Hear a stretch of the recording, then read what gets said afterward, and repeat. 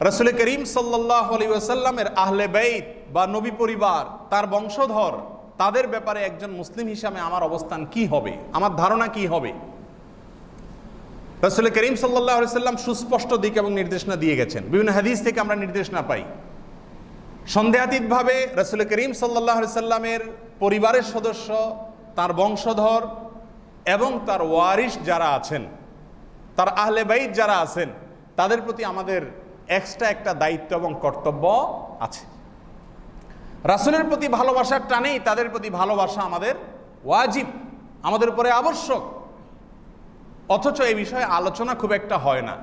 নবী পরিবারের প্রতি আমাদের করণীয় কি সে বিষয়ে আলোচনা হয় না। একদিকে আমরা দেখি কিছু মানুষ নবী পরিবারের কিছু সদস্যকে নওয়াজবিল্লা আল্লাহর স্থানে স্থান দিয়ে দেয়। আবার অপরদিকে খারেজি সম্প্রদায়ের লোকেরা নবী পরিবারের লোকদেরকে বিষোদ্গার করে। আর এর মাঝামাঝি আহলুসুন্নাওয়াল জামাহাতের অনুসারী, অর্থাৎ যারা রসুল সাল্লাহ সাল্লামের সুন্নত এবং তার সাহাবাই ক্রামের অনুসরণ, অনুকরণ করেন, তারা এই দুইটার মধ্যে সমন্বয় করেন।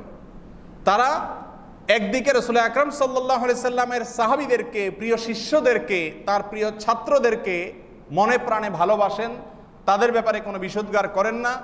অন্যদিকে নবী পরিবারের সদস্যদের প্রতি তারা অগাধ ভালোবাসা এবং শ্রদ্ধা জ্ঞাপন করেন। এর নামই হলো মধ্যম পন্থা। বাড়াবাড়িও না, ছাড়াছাড়িও না। আপনি যদি নবী পরিবারের সদস্যদেরকে, কিছু সদস্যদেরকে নবীর পর্যায়ে বা নবীর চাইতে উপরে উঠান, তাহলে সেটা বাড়াবাড়ি হবে।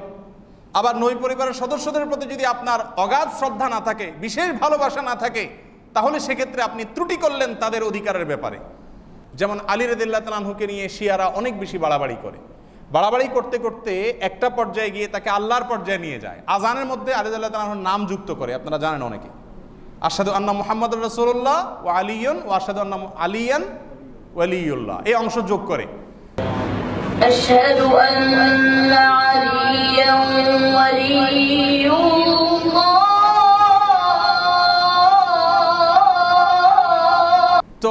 এই যে বাড়াবাড়ি, রসুল আকরম সাল্লাহ সাল্লামের পর্যায়ে নিয়ে যাওয়া অথবা আল্লাহর পর্যায়ে নিয়ে যাওয়া, আমাদের দেশে অনেক সময় দেখবেন আপনারা ইয়া আলী মদত বলা হয়।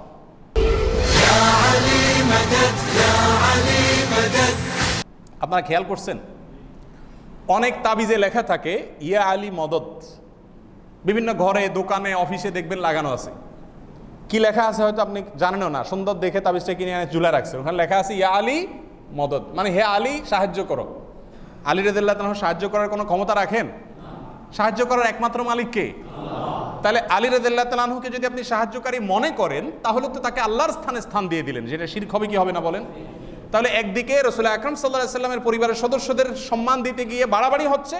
আরেক দিক থেকে আমরা তাদের সম্মানের কথা একদম বেমালুম ভুলে গেছি। এই দুইটার সমন্বয় আমাদেরকে করতে হবে। আল্লাহ তালা আমাদেরকে তৌফিক দান করুন। প্রিয় ভাইরা আমার আল্লাহ রাব্বুল আলামিন কোরআনে কারীমের সূরা আহজাব ইরশাদ করেছেন, ইন্নামা ইউরিদুল্লাহু লিইউযহিবা আনকুমুর রিজসা আহলাল বাইতি ওয়া ইউতাহিরাকুম তাতহীরা। যার অর্থ হলো, হে আহলে বাইতের সদস্যরা, হে নবীর পত্নীগণ, স্ত্রীগণ, আল্লাহ রাব্বুল আলামিন তোমাদেরকে পরিচ্ছন্ন রাখতে চান, করতে চান, তোমাদেরকে পবিত্র রাখতে চান, করতে চান আল্লাহ তাআলা। তাহলে এখানে নবী পরিবারের সদস্যদের প্রতি আল্লাহ সুবহানাহু বিশেষ কেয়ার এটা প্রমাণিত হয় কি হয় না? এমনিভাবে রসুল আকরম সাল্লাহ আলাইসাল্লাম গাদির ঘুমের যে ঘটনা, ঐতিহাসিক ঘটনা, বিদায় হজ থেকে মদিনায়, হজের পরে মক্কা থেকে মদিনায় ফিরে যাওয়ার সময়, মক্কা পার হওয়ার পরেই একটি জায়গায় তিনি অবস্থান নিয়েছেন। রেস্ট করার জন্য সফরের বিরতি করেছেন, যাত্রা বিরতি। সেখানে গাদিরে ঘুম জায়গা নামক জায়গায় তিনি একটা ভাষণ দিয়েছেন। সেই ভাষণের একটি অংশ ছিল এই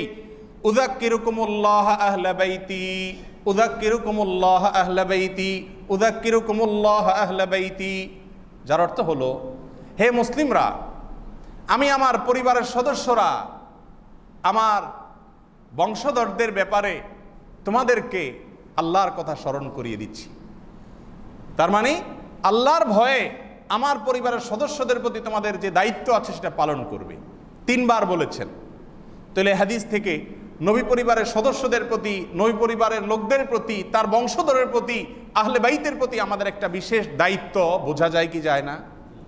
তেমনিভাবে ফাতেমা রাদি আল্লাহ তালা আনহা, রসুল করিম সাল্লাহ আলী ওসাল্লামের প্রিয় কন্যা, যিনি তার একমাত্র সন্তান, যে তার মৃত্যুর পরে, তার ওয়াফাতের পরে দুনিয়াতে বেঁচে ছিলেন। অন্য কোনো সন্তান রসুল আকরম সাল্লাহ সাল্লামের ওয়াফাতের পরে দুনিয়াতে বেঁচে ছিলেন না। ফাতেমা রাদিল্লাহ তালাহা সম্পর্কে বুখারের হাদিসে তিনি বলেছেন ফাতেমা তো সঈদ এত নিসাই আহলিল জান্না জান্নাতের যত মহিলারা হবেন, তাদের নেতৃত্ব দিবেন ফাতেমা। তার নবী পরিবারের এই সদস্য ফাতেমা রাদিল্লাহ তালাহার বিশেষ মর্যাদা বোঝা যায় কি যায় না। তেমনিভাবে অন্য হাদিসে তিনি ইরশাদ করেছেন, ফাতেমা আমার শরীরের অংশ, ফাতেমা আমার অংশ। ফমান আগদাবাহা ফকাদ আগদাবানি অমান আদাহা ফকাদ আদানি যে ফাতেমাকে রাগান্বিত করল, সে আমাকে রাগান্বিত করল। যে ফাতেমাকে কষ্ট দিল, সে আমাকে কষ্ট দিল।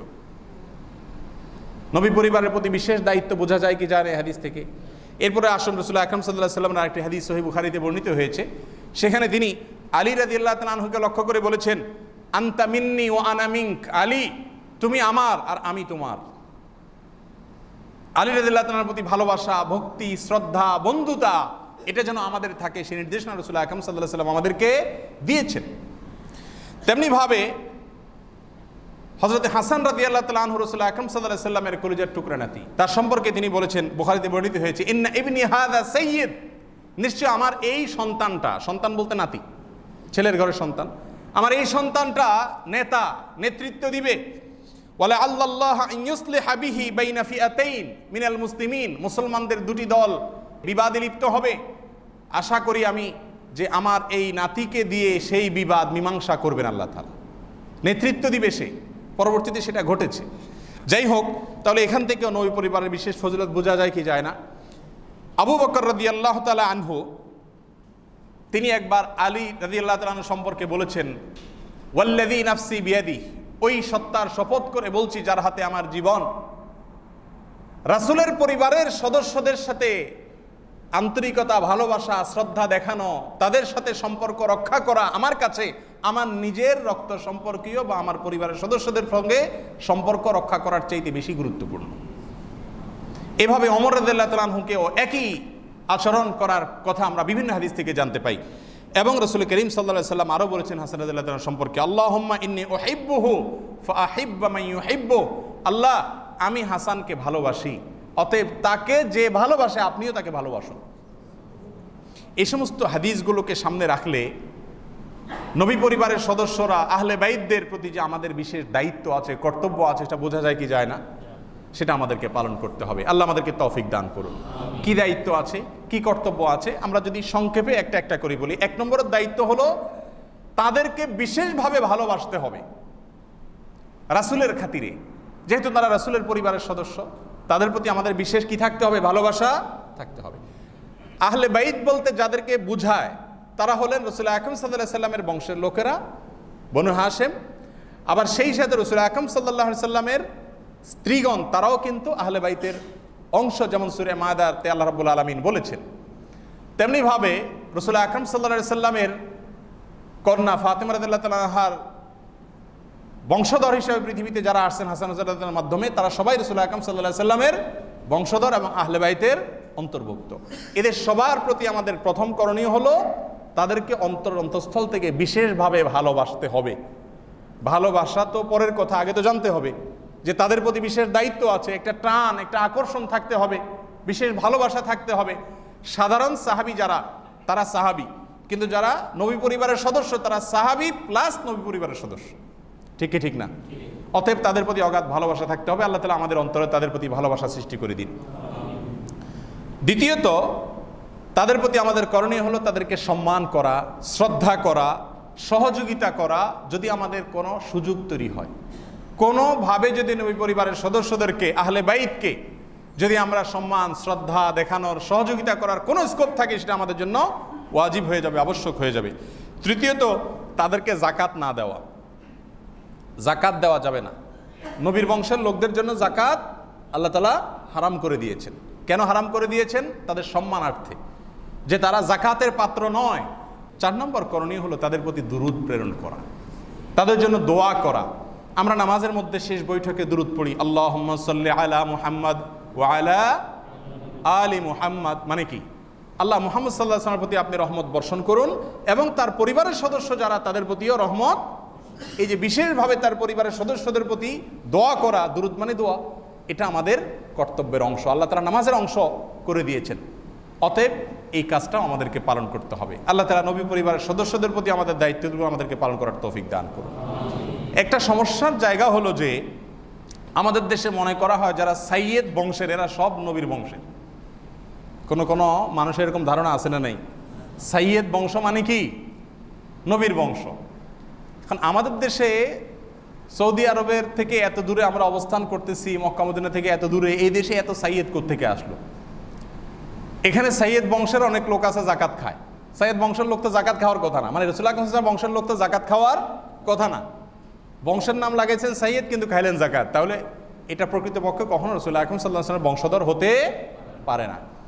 তাছাড়া যেহেতু নবী পরিবারের সদস্যদের বিশেষ কিছু ফজিলত আছে, এজন্য ভুয়া নবী পরিবারের সদস্যের দাবিদারের সংখ্যাও কম না। বিশেষ করে শিয়াদের তো ঘরে ঘরে নবী পরিবারের সদস্য তাদের। তারা মনে করে যে অমুক নবী পরিবারের সদস্য, তমুক নবী পরিবারের সদস্য। দেখুন, নবী পরিবারের সদস্য এটা দাবি করলেই হবে না। বংশ পরম্পরা দ্বারা সেটা কি হতে হবে? প্রমাণিত হতে হবে। অনেক লোক আছে সৈয়দ বংশের বা নিজেকে নবী পরিবারের সদস্য দাবি করে পাক- পাক ভারত মহাদেশে এই সাবকন্টিনেন্টে। কিন্তু তাকে যদি জিজ্ঞাসা করেন যে, তোমার বংশধারাটা রাসুলের সাথে কীভাবে মিলে? বলো দেখি। তো দুই, তিন সিঁড়ি বলার পরে, বাপদাদার নাম বলার পরে আর নামই বলতে পারবে কিন্তু সে দাবিতে কি? রসুল আকরম সাল্লাহ সাল্লামের বংশধর। অতএব এই ভুয়া নবী পরিবারের সদস্যদের প্রতি আমাদের কোনো দায়িত্ব নেই। যারা সত্যিকার অর্থে রসুল আকরম সাল্লাহ সাল্লামের আহলে বাইতের সদস্য তাদের প্রতি ভালোবাসা দেখানো, সম্মান প্রদর্শন করা, তাদেরকে সহযোগিতা করা এবং আল্লাহ রব্বুল আলমিন তাদেরকে যে বিশেষ মর্যাদা দিয়েছেন সেটাকে স্বীকার করে নেওয়া, এগুলো সবগুলো আমাদের দায়িত্বের অংশ। তাদের জন্য দোয়া করতে হবে। আল্লাহ রব্বুল আলমিন আমাদের সবাইকে সেই তৌফিক দান করুন।